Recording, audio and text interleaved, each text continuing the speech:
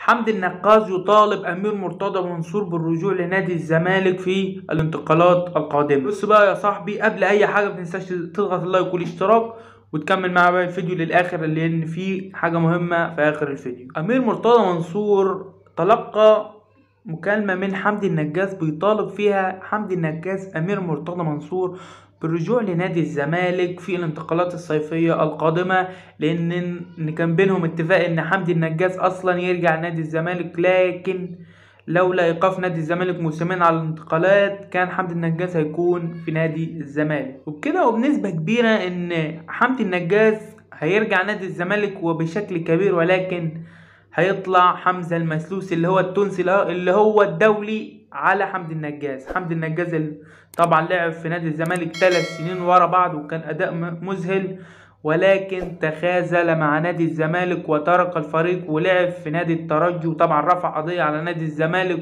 وخد تعويض من نادي الزمالك 600 ألف دولار ودلوقتي بيطالب أمير مرتضى إن هو يرجع لنادي الزمالك. وللعلم إن حمدي النجاز حاليا ليس في أي نادي في العالم.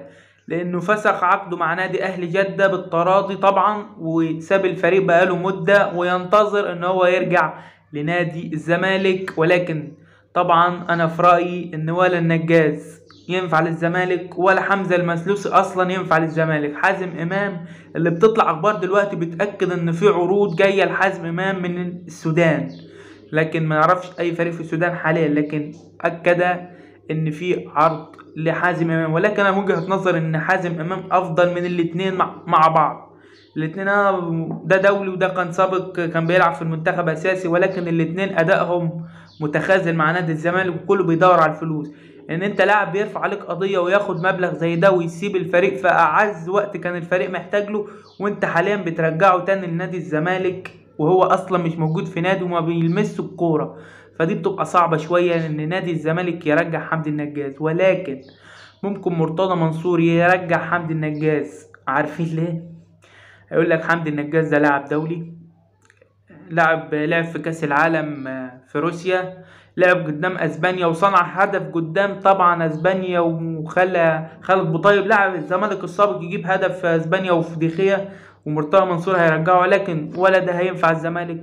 ولا حمزة المسلوس هينفع هينفع الزمالك لأن حمزة المسلوس أداء متخاذل جدا مع نادي الزمالك. لكن حازم إمام لو أخذ فرصة حمزة المسلوسي آه حازم إمام ممكن الدفاع تقلق منه لكن هجوم جبار من حازم إمام. لو خد فرصته هيكون أحسن وأرخص كتير من حمدي النجاز اللي أنت لسه هتدور عليه وتجيبه تاني لنادي الزمالك وياخد الفلوس ويمشي وما يفيدش نادي الزمالك بحاجة. ده رأيي وهنشوف الأيام القادمة هيحصل إيه في نادي الزمالك وهل هيتم التعاقد مع اللاعب حمدي النجاز ورحيل حمزة المسلوسي. أنا نفسي يرحل المسلوسي ويرحل حمدي النجاز لأن ولا ده ولا ده في قدرات وإمكانيات حازم إمام لو هو في الفورمة. لو حازم إمام في الفورمة هيبقى أفضل من الاتنين مع بعض. وده طبعا الخبر الأول اللي معانا. الخبر الثاني اللي معانا طبعا إن نادي الزمالك اضطرب بشدة من التعاقد مع أحمد أيمن منصور لاعب نادي بيراميدز الحالي. إن أحمد أيمن منصور بينهي التعاقد تماما مع نادي بيراميدز بنهاية الموسم ويحق يوقع لأي نادي وطبعا نادي الزمالك بيحاول يتعاقد مع اللاعب. اللاعب طبعا بيلعب في مركزين بيلعب مدافع وبيلعب باك شمال.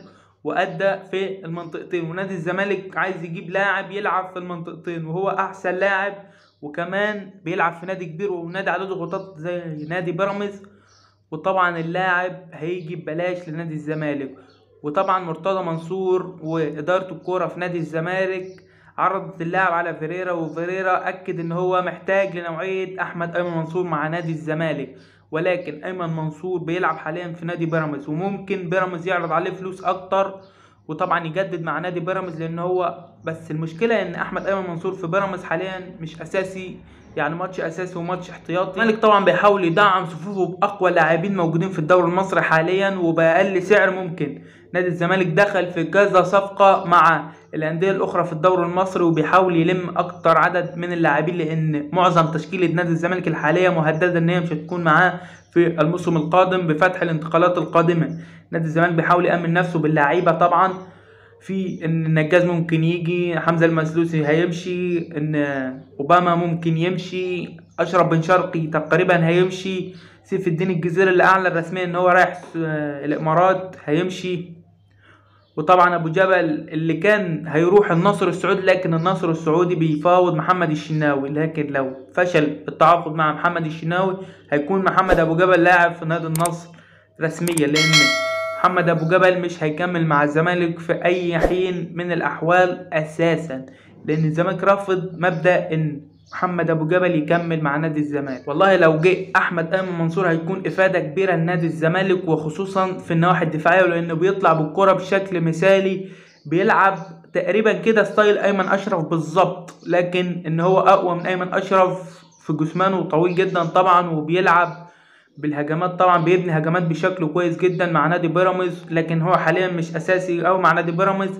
لأن أحمد سامي وعلي جبر هما الأساسيين حاليا في نادي بيراميدز.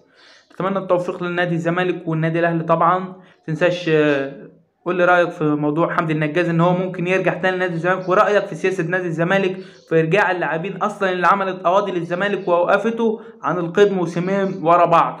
متنساش لايك واشتراك للقناة وسلام.